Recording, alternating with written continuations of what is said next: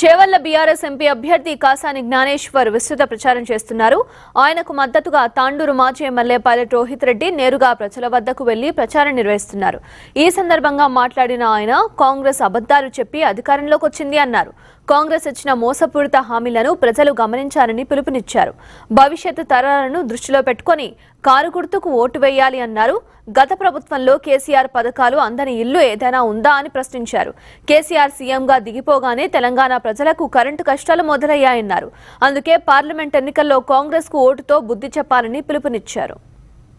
మొన్న ఎన్నికల్లో ఏం జరిగింది అనే విషయం మనకందరికీ కూడా తెలుసు. మనము అతి తక్కువ ఓట్లతోని మనం ఓటమికి గురైనాం. మరి దానికి కారణం కూడా మీకు అందరికీ తెలుసు. మనతోని ఉండి మన తిన్నింటి వాసాలు లెక్క పెట్టినట్టు మన పక్కనే ఉండి మనకు మోసం చేసిన వాళ్ళు కాబట్టే మనం ఈరోజు ఓటమికి గురైనాం.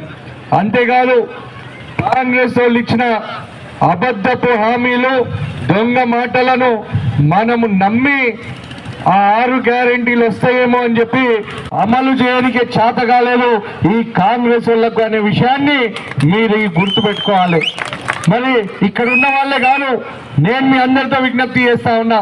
గత పది సంవత్సరాలుగా కేసీఆర్ గారి ఆధ్వర్యంలో బీఆర్ఎస్ ప్రభుత్వంలో మనం ఏ విధంగా ఉండే మరి ఇప్పుడు కాంగ్రెస్ వాళ్ళు వచ్చినాక మన పరిస్థితి ఎంత అధ్వానంగా తయారైందో మనం ఒక్కసారి గమనించాలి.